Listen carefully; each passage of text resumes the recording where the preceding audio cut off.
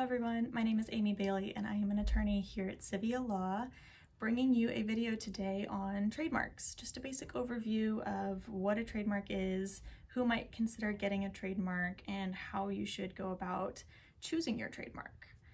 So why might someone want a trademark? Well, it helps brand owners and businesses create equity in their brand. It can help to build the goodwill in your company and whatever goods and services you provide. It's also important that we protect consumers from any confusion in the marketplace. We don't want competitors to be able to too closely market themselves against you. We want you to have a very distinctive brand so that your customers don't get misled and that your customers don't go and buy a knockoff without knowing it. We want your brand to be distinguished and we want your customers to have faith that when they go and look for your products, they're going to end up with your products. It is important to note along that same line that trademarks do not grant you a monopoly in the product. A trademark only gives you the, the mark, the designation. You have a specific mark that you're using in connection with your goods or services.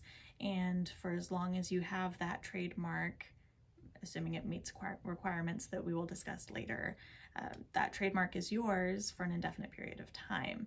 Your competitors are not allowed to use your trademark, save for a few exceptions, but they are allowed to market the same goods and the same services. So that's why it's important that your trademark is protected because your trademark is, in a lot of situations, all that really distinguishes you from your competitors, especially in a flooded market.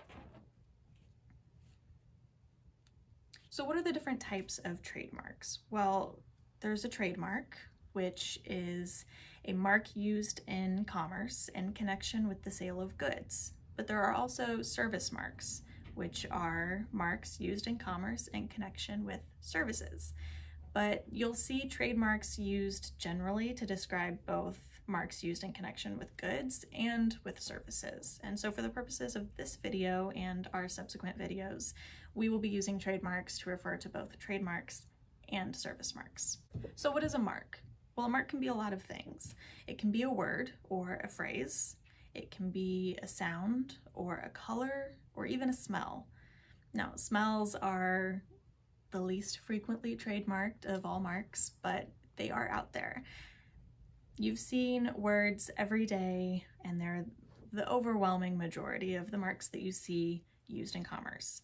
Um, think about just about any fast food restaurant, Taco Bell, Burger King, McDonald's, they're all trademarked. And those are just word marks.